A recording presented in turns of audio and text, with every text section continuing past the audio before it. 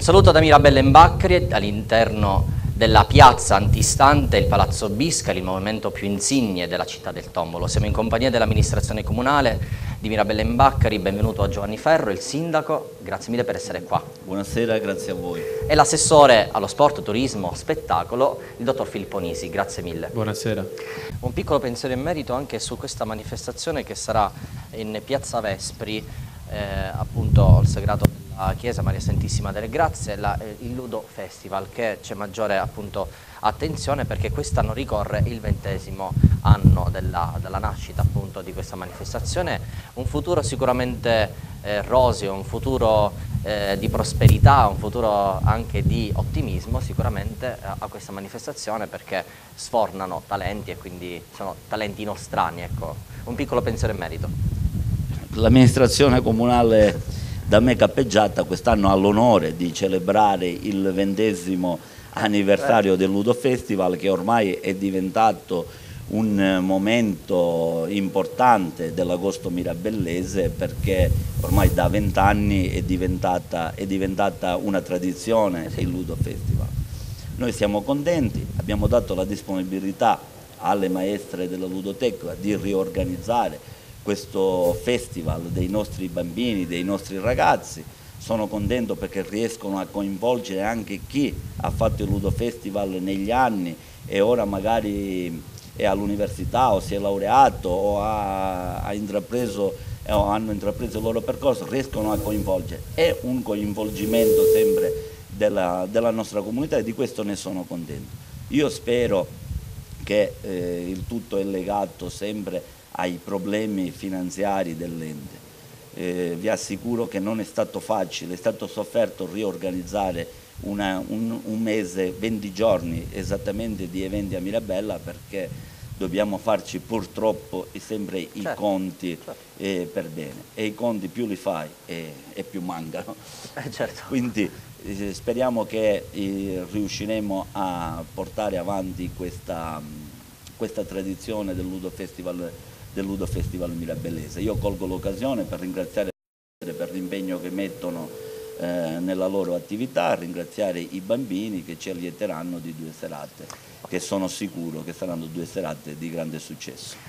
Ok, allora vediamo e conosciamo meglio questo programma e questa, ehm, questo periodo no? che vede l'agosto, anche un po' luglio, agosto, settembre, insomma un periodo di affollamento nella città di Mirabelle in Bacri, il sindaco già l'ha detto, è un grande momento di partecipazione di comunità perché anche con poco si può realizzare qualcosa e l'amministrazione Ferro comunque è partita, come va va, con quello che c'è, con quello che c'è stato, ma comunque voi eh, state organizzando quello che i mirabellesi eh, vogliono, cioè avrete tintoria, voglio dire è una bella, una bella iniziativa, magari gli accenniamo a qualcuno degli eventi eh, salienti, quelli che vedranno coinvolto l'intero paese eh, e anche un tuo piccolo commento, come ti sembra a te questa organizzazione di quest'anno? Intanto sei Giovanni, quanti anni hai? Sì, Giovanni? io ho 29. Assessore sport, 29. turismo, spettacolo, eh? Filipponi, complimenti. Sì, grazie. Eh, allora, a livello organizzativo sicuramente è stata una faticaccia, perché lavorare senza avere tantissime risorse è abbastanza dura e complicato. Diciamo che abbiamo un po', stiamo sperimentando un po' di iniziative affinché riusciamo a, re a reperire risorse per finanziare quest'estate. Come diceva il sindaco abbiamo fatto questo accordo, questo, questa iniziativa con la Chiesa per quel che riguarda la lotteria. Un'altra iniziativa è quel che riguarda la centralizzazione, chiamiamo così, della raccolta degli sponsor in modo che gli sponsor eh, contribuiscano all'estate mirabellese e in, eh, in, cambio loro possono eh, dire in giro, sia alla televisione che nei loro manifesti, nelle loro pubblicità, che sono sponsor del comune di Mirabella in Baccari. Eh, un modo come un altro per raccogliere più fondi possibili e cercare di avere quelle risorse necessarie ad affrontare quest'estate. Abbiamo cercato quindi di fare un'estate con più eventi possibili, ci saranno eventi ogni giorno a partire iniziando dal 5 di agosto fino al 20 di, di, con la festa della Madonna. Se riusciremo anche dopo ci, sarà, ci saranno alcuni eventi che magari riusciremo ad organizzare nel corso dei prossimi giorni. E abbiamo fatto anche richieste di finanziamento a livello regionale proprio per acquisire altre risorse e poter organizzare queste serate.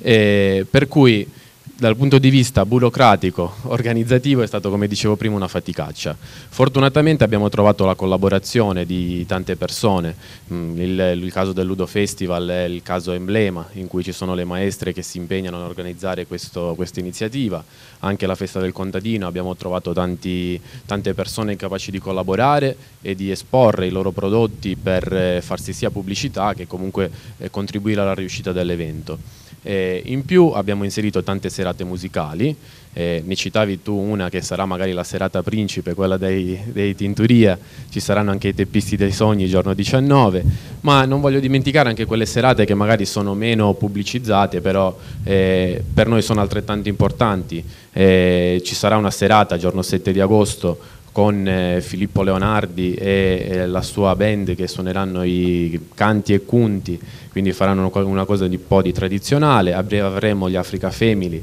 giorno 9, gli Afro Family che faranno una serata musicale alla Rotonda, ci sarà una serata di danza organizzata da Associazione Coreia durante la settimana della Madonna e una, una serata organizzata da associazioni quali Proloquio e ACM Mirabellesi che faranno una sorta di notte bianca, contribuendo un po' a fare quel benvenuto ai cittadini mirabellesi, cercando di mettere all'interno di quella serata sport, musica e degustazione di prodotti in modo che sia una festa di tutti. Come dicevamo abbiamo messo tanto impegno perché, come diceva il sindaco, l'obiettivo era quello di dare ai cittadini che rientrano per le vacanze estive un paese, una sensazione di un paese vivo, un paese che si fa in quattro per, per, accoglierli, perché loro sono cittadini come noi, cittadini importanti come quelli che siamo residenti tutto l'anno e contribuiscono a quella che è l'economia mirabellese. Per cui era quasi un obbligo, noi l'abbiamo detto in campagna elettorale, che avremmo cercato di eh, fare il massimo per dare a questi cittadini che ritornavano per le vacanze un'estate degna di quello che era la loro importanza. Giustamente non, era, non è stato facile, potevamo fare probabilmente le cose un po' meglio questo è, magari frutto, sarà anche frutto delle, dell'esperienza che ci faremo nel corso dei tempi. Difficilmente potevamo fare di più perché le risorse sono quelle e riuscire a mettere all'interno di un'estate, in 20 giorni di serate, avendo un budget molto limitato non è stato facile. Però vedremo come andrà quest'estate, siamo convinti che i cittadini saranno soddisfatti e che nel proseguio questi, questi cittadini stesso ci sosterranno nei momenti anche di difficoltà. Va bene, ok, grazie mille per la vostra partecipazione, grazie per la disponibilità per essere stati qua. Noi abbiamo cercato di accompagnare quello che è l'attività del ventesimo anniversario della eh, Ludoteca Comunale attraverso una manifestazione canora, così chiamato Ludo Festival, e di augurare un buon lavoro agli organizzatori, eh, organizzatori tutti eh, grazie mille all'amministrazione comunale e tanti auguri per il vostro lavoro amministrativo. Grazie a voi.